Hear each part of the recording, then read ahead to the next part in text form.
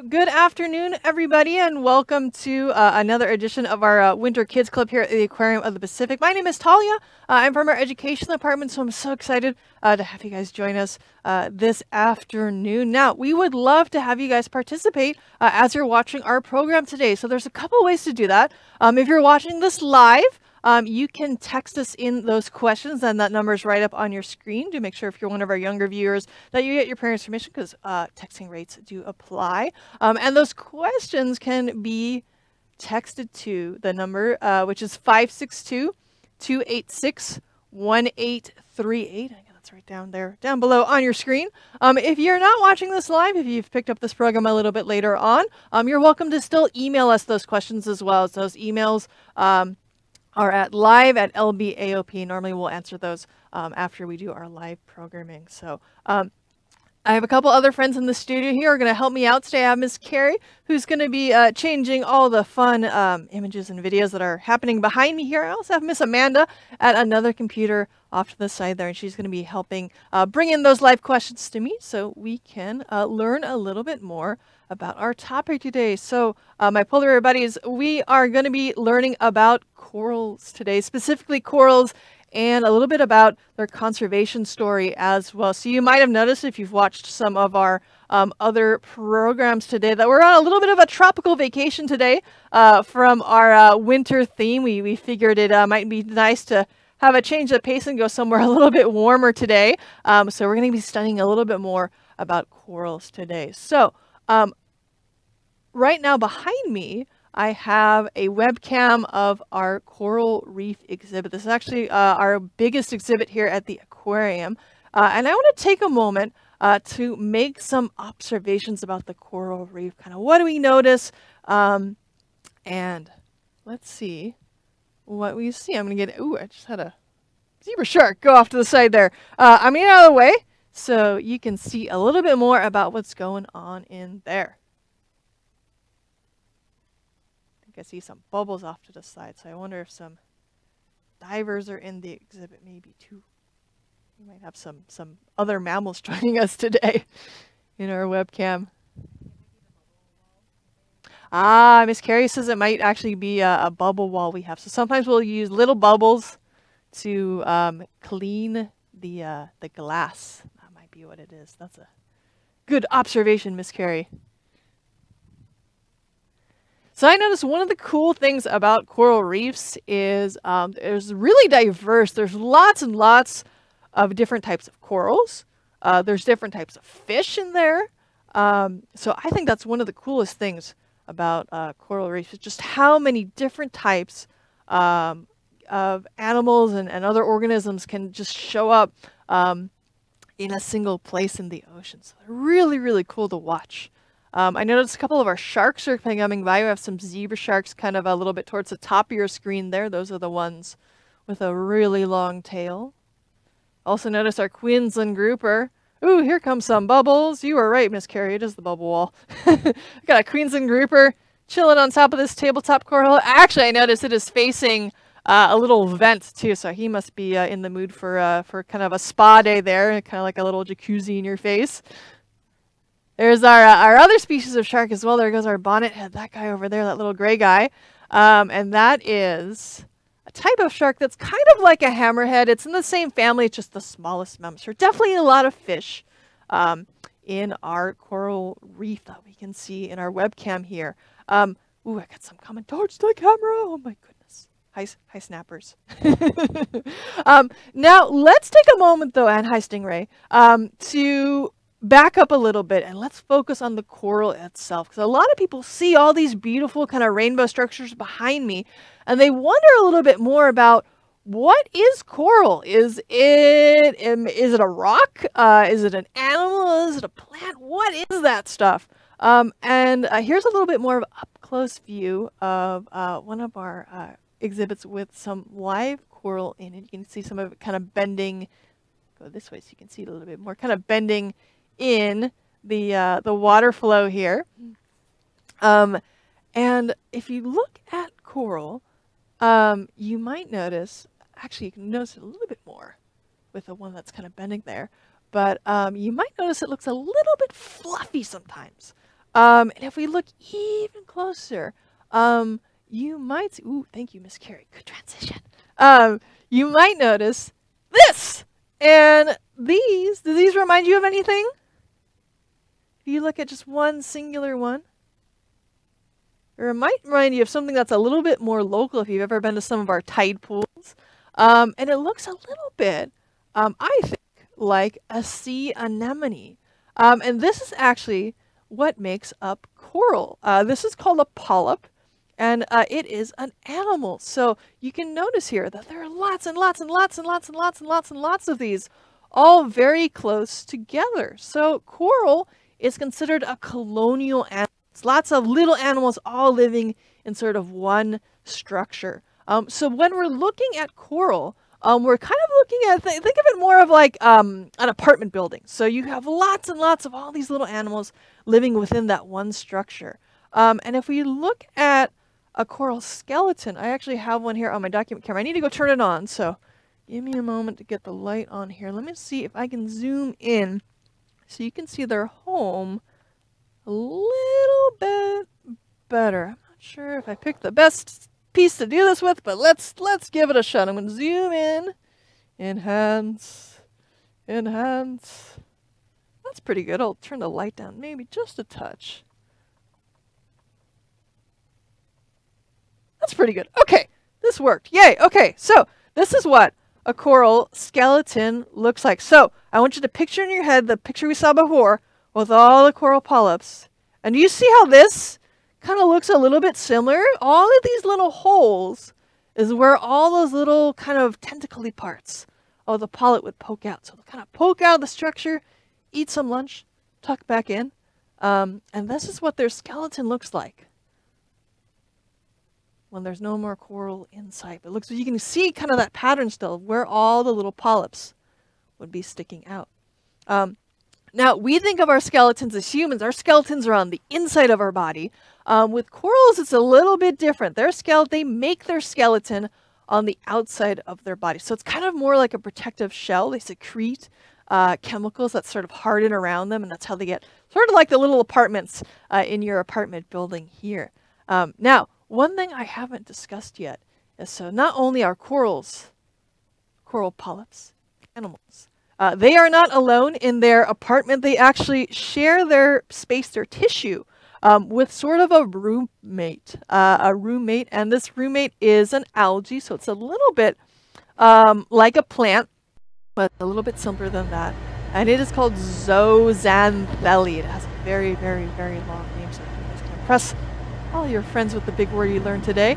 Um, and if you look closely at this coral polyp, I believe the zooxanthellae uh, can kind of be seen within the tissues of the coral here. I believe, is it, am I correct that it's all the kind of brown splotches? Miss Carrie says, yes, ma'am. Um, so, all these brown, brown kind of splotches you see in the tissue of the coral, that's all that zooxanthellae here. So they kind of live together and it's kind of a win-win situation. So the uh, zooxanthellae, uh, like a plant would, is getting energy from the sun and providing kind of sugar and energy and food for the coral. And then the since the zooxanthellae is housed within the tissue coral, that's how keeping uh, the zooxanthellae safe. Um, another cool thing about these guys is that um, they are what give the coral all their beautiful colors. So different zooxanthellae live in different corals, and that's how you get different colors of coral, which I think is pretty interesting and pretty cool. That, that's how we get that kind of rainbow effect of corals. Um, so that's a little bit about sort of what makes a coral a coral. Um, and I think I want to actually change it up a little bit. I'm going to keep Carrie on her toes here. And I want to take a moment to talk a little bit about a particular animal that lives And I'm wondering if we can look real quick at, um, at a fish uh, with a particular mouth. Sure. Sorry, I'm changing changing things on a whim here. Look at all the beautiful polyps waving waving good afternoon to us. Okay, so this is another one of our webcams here. Um, and this is one, hello, about uh, this particular, oh, that was really great. Thanks, buddy. Um, this particular type of fish, uh, and you might have noticed they're all like going for my head right now. That's my theme. Ah! That's my theme today is fish are going for my head.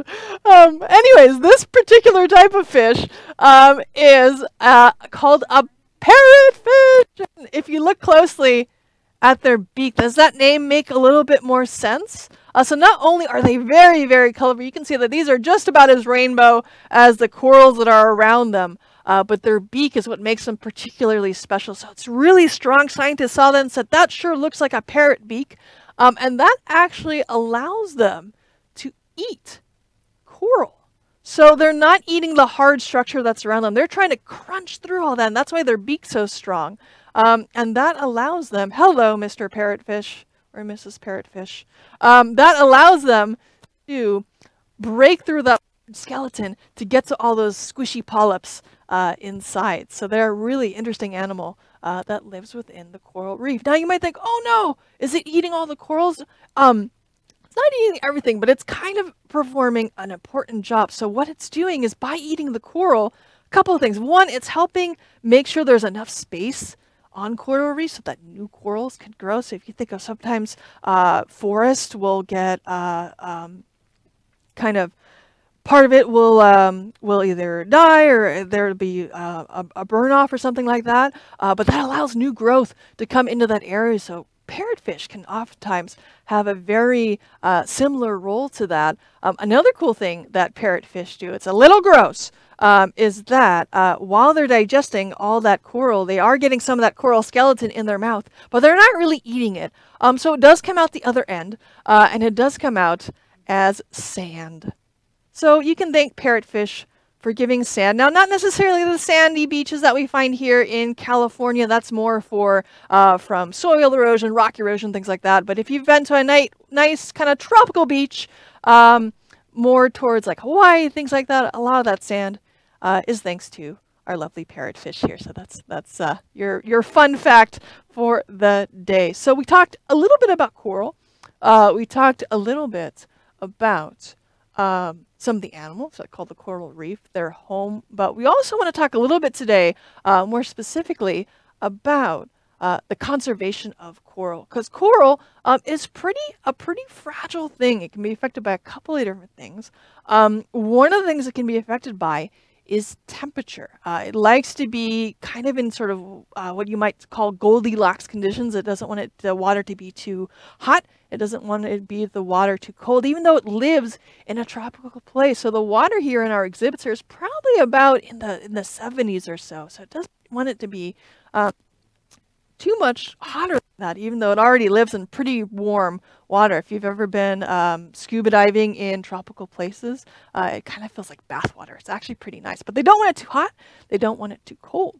And one of the things that's happening uh, in the world that you might have heard of before is uh, climate change. So um, the temperatures of the uh, world are changing thanks to uh, carbon dioxide going into the ocean, um, or excuse me, going into the air, uh, and a lot of that is coming back into uh, the ocean, and that's causing the waters to uh, warm up a little bit.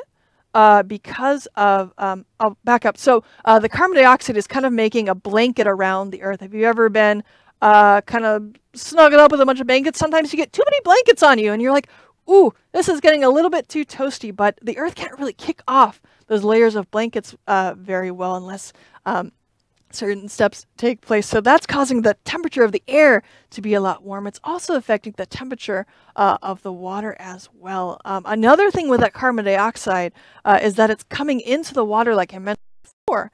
It's actually causing the water to be a little bit more acidic than it used to be. And that's causing those hard skeletons, uh, like we saw on my document camera, uh, to not be able to be as easily formed anymore. So that's some of the things uh, that are affecting uh, corals. And again, if you guys have any questions uh, during our program today, please feel free uh, to text those questions in. I think we'll get our number back up on our screen there in case in case you have anything that you're wondering about. You saw something today you went, hmm, I want to know a little bit more about that.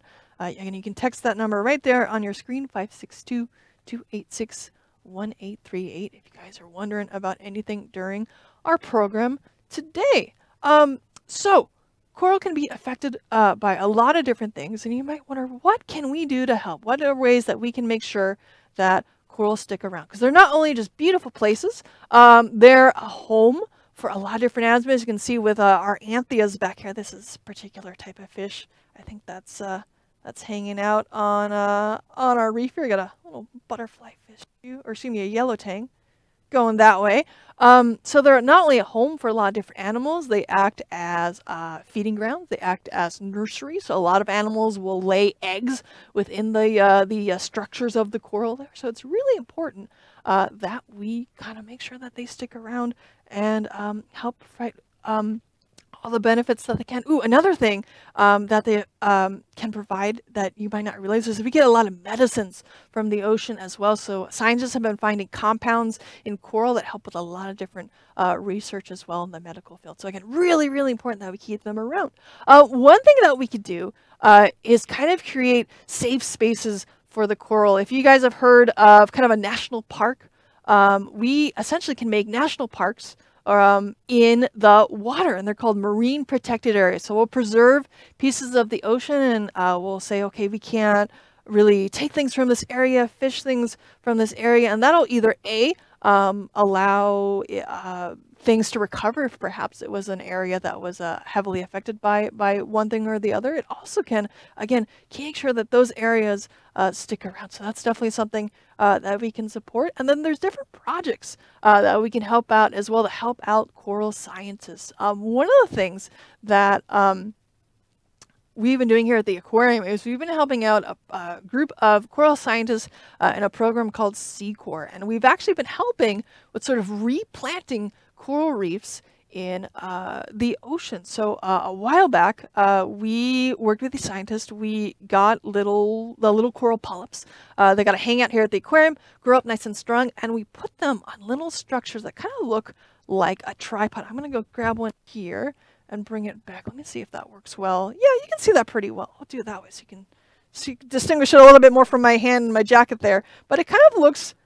Say again. Oh yeah, um, sure. Uh, Miss Carrie can put up some photos as well. So they kind of look. Ooh, that's a much better picture than this. They kind of look like this, but they look a whole lot more like this stuff behind me as well. I'm gonna put this off to the side so you guys can see this. So this is what these little tripods look like. So we can encourage. You can actually see it a little bit there, I think, too. You can encourage these polyps to grow on these structures here. And then scientists, once these get to like a certain size or so, scientists can take these guys back to the wild reefs and uh, they can grow up in sort of little kind of hanging structures like this that can actually start um, putting them within the wild reefs as well. And they're sort of just sort of embed themselves into the structures that are already there. And what's cool about this design I've heard is that um, they kind of just self wedge themselves into those reef structures. You don't have to go with like a special glue and put it down or anything and add more chemicals uh, into the water that way. You could kind of like I, I think you could almost just like throw them like like uh, jumping jacks there. And um, or jacks that you play with uh, and uh, they sort of embed themselves in the reef structure. That's a really cool program that we've been we've been part of here at the aquarium to help uh, coral reefs uh, recover a little bit in, in the wild, in addition to having those marine protected areas where you can actually start to replant different sections of the reef as well using these kind of techniques uh, like they've uh, they've uh, discovered here with SECORE. Um, now, another way to help out coral scientists is just to get more information, right? If we don't know what's going on in a certain area, uh, it's a little bit harder maybe to protect it as best as we could. So another um, group that we work with here at the aquarium, and I um, you can definitely I think watch their videos online. You might even be able to participate online as well. Is with a group called FinPrint, uh, and they've discovered a really cool camera uh, technique that they've uh, used to help them study all sorts of different coral reefs around the world. Um, so you might notice that these fish are pretty interested. Ooh, I did good with my backwards pointing today. Pretty interested with this box here. Uh, now this box is part of a camera system called a BRUV. It's a baited remote underwater video. So this little box is filled with bait. Is ooh, there goes some sharks. Whoosh. Um, is filled with bait, uh, so it's some food to attract animals over there. And that box is attached to like a pole, and that pole's on a little tripod, a little sort of triangle guy, like uh, kind of looks like what our, our coral things grow on. Um, and there's a little camera attached to that, and they can set these systems up in different reefs, and then watch and see what happens, and see um, what types of fish are there. How many of those fish are there? How many different types of fish are there? How are they interacting? Um, and they can gain a lot more information uh, about these different reefs all over the world uh, just by looking um, at these cameras here. And this is a lot easier way to gather information about these reefs because um, it would be a lot harder if you had to get scuba gear, get on a boat, get over to the reef, jump in the reef, get on the water, have an underwater, you know, pen and paper and take notes all day. And, you know, the fish might be like, ooh, I don't know if I want to go over there because there's this strange, this strange human. Uh, oh my goodness, fish are... Carrie, why are fish going for my head today? that one was was very particular. Oh my goodness. Anyways, um, it's a lot harder to do that. Um, if you have kind of a, a, more of a human element per se in terms of like sitting there, how much air do I have? How long is that going to last? Is the fish behavior going to change? Uh, you know, a, a, whole lot because I'm sitting there taking notes. Um, so by using these baited um, cameras, they can essentially kind of set it and then see what happens. And this way, again, we can gather more information uh, about these types of places. Um, and by gathering that information, we can figure out, ooh, you know, is there a type of animal here or plant here that, you know, we didn't notice before? And ooh, that's something we really want to protect. Um, is this a breeding ground for a certain type of animal? We didn't realize that before. Um, these are all those sort of questions we can start answering as we get more and more information uh, thanks to these baited uh, underwater camera systems. Um, and then what they can do, and I think some of our volunteers at the aquarium used to do this as well, is we can take these big long videos that they record and we can start helping them gather that information, gather that data. So we can start writing down, okay, we're seeing this type of fish and this type of shark, and um, these are how many we saw during this period of time. And as we gather that information, uh, that can help coral scientists and scientists in general uh, figure out, okay, what are these areas that we need to help protect out uh, in our oceans?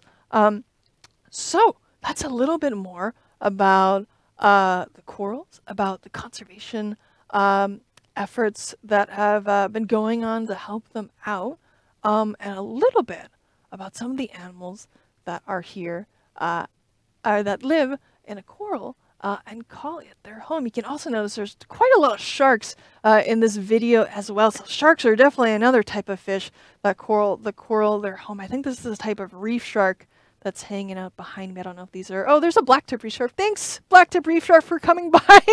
um, you can tell it's a black tip reef shark because it has a black tip on its fin there. Very cool.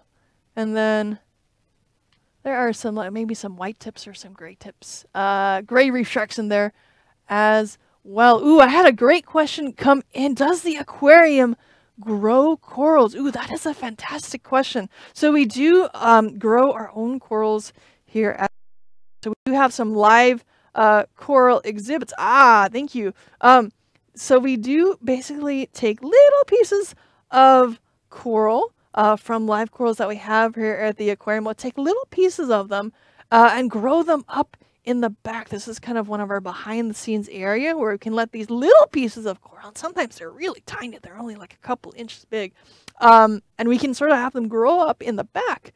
Um, you can see there's, again, I, that's one of the cool things about, not only are there a lot of different fish here at the aquarium, uh, the in reefs with all sorts of different colors, there's all sorts of different types of corals themselves. You can just see even in this little video here, there's just all sorts of different shapes and sizes and colors. But anyways, we can grow them up in the back here. And then we can take those little pieces um, and put them in some of our exhibits here at the aquarium, like this one. Uh, so this is uh, part of uh, our live coral exhibit here at the aquarium, and I believe one of, I think it might be this piece here, but don't quote me. One of these pieces, um, I believe, is from the very beginning of the aquarium. So corals can grow really, really, really long time sometimes. But yeah, we can take little chunks of these pieces, grow them up in the back, um, and then we can start adding more live coral uh, to our exhibits um, around the aquarium as well.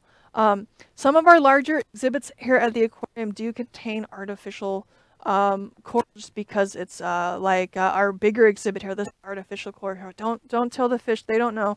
Um, but it just is a little bit easier to maintain when you have a, a larger exhibit where you're gonna have divers come in. They're not gonna be worried about bumping into that because again, we mentioned that coral. Um, can be pretty fragile, so we don't want to be accidentally, you know, knocking into things. Um, so sometimes in our larger exhibits, it's easier to have sort of replicated coral um, in this exhibit. You might notice, though, that some of them are very lovely very lovely colors here. We actually had, um, a while back, we had some friends uh, repaint some of the coral here. So we tried to be green here uh, with our uh, artificial coral as well. And sometimes we'll try to repaint them and sort of refresh that look so it looks a little bit more like what you see out in the wild as well. But they do a really good job. So a lot of the fish, they'll still act around the same as they would the real deal. They'll still, uh, you know, have their home in there, lay their eggs in there. Our zebra sharks will sometimes lay their eggs uh, in the corals that are a little bit more spiky, like the staghorn coral. Then actually, I should point to the one that's easier to see, like those guys right there. Sometimes they'll circle, circle, circle, and uh, wrap their eggs in there as well. So, so they're still going to act around it, uh, just like they would uh, the real deal as well. Um, now, my friends, I am um, so glad that you guys joined us here this afternoon to learn a little bit more about the coral, a little bit more about the friends that call it their home uh, as well as uh, some of the things that are being done to help keep them safe, uh, learn a little bit more about them, and uh, maybe even some things that you guys can uh, look into at home, like that global uh, FinPrint as well. Um, there goes our zebra shark up there. That's the one that likes to lay eggs in the coral, and then grows our bonnethead shark. So, oops, somebody bumped the camera.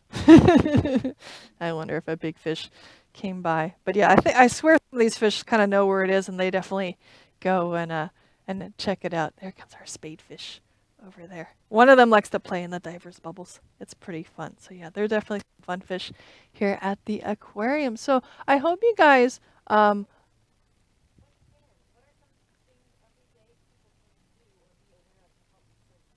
Ooh, all right. So um, we had a great question coming about what are some everyday things we can do uh, to help out with the coral. So um, some of the things we can do sort of more every day um, is hopefully some of the things you guys are already doing. So uh, one of the things that affects uh, corals, like we talked about, is uh, things that happen in the water. So reducing the amount of pollution that gets in there can help out. So things like uh, picking up our trash, recycling, using reusable um, products can help out as like kind of a first step. Um, another thing that I didn't mention yet that can kind of affect corals as well is they've been finding that certain chemicals in sunscreen uh, can be harmful to corals. So uh, looking a little bit more into that, uh, maybe trying to find a sunscreen if you can um, that doesn't contain those chemicals. That's oh, sort of an everyday thing uh, we can uh, think about with kind of spring and, and summer kind of coming on, on the horizon. There's some good information uh, about that on the web. And then um, more sort of long-term things we can do to help out is choosing things that would be reducing um, our carbon footprint. So reducing the amount of uh, carbon dioxide that goes up in the atmosphere, and that's going to be affecting things like climate change. So um, things um, that can help like with that is is sort of like reusing reusable products. Uh, if you have the opportunity to not drive as much, maybe you can walk to the store, plan your car trips more efficiently, so you're not going back to the forth in the store um, a million times trying to walk, ride our bike um, choosing types of cars that uh, are more uh, fuel efficient. Um, those are some other things we can do to uh, to help out with climate change, and then thus help out with uh, coral reefs. So I hope that helps with uh, some of the uh, more everyday things that you guys can do to help out with corals, depending on if you're kind of a kid or a grown up. but everybody can help. I think that's one of the important things is is you everybody can help out the ocean, um, and it can always start with something small and kind of work your way up to bigger steps as well. And also sharing your knowledge is a way to help. If we don't understand a place, if we, um, you know, don't understand why is this place so cool, um, it's um, sometimes it's harder to uh, figure out why we want to protect it. So definitely sharing all the cool things you guys know about the ocean and the corals is another fun way to help it out. So I hope you guys learned a little bit more about our uh, coral reefs and things we can do to help out. Um, and again, if you guys have more questions after the program, you can email us, and that email is still up on our screen here. It's live at lbaop.org. We are just about out of time, so thank you for joining us today on our tropical vacation here at our uh, Winter Kids Club. Ooh, and if you still want to do some more fun things at home and use your scientist brains, we do have a take home activity for you, my polar bear buddies. So if you go to our website, aquariumofpacific.org, you can look right below this uh, video here. There should be a link to a uh, coral comparison activity. So it's going to be using our webcams, kind of like what we've been doing here in class, uh, or excuse me, during our club today, and uh, trying to learn a little bit more about uh, the corals there. So you're encouraged to check that out. If you want to share your adventures, you can also use the hashtag um,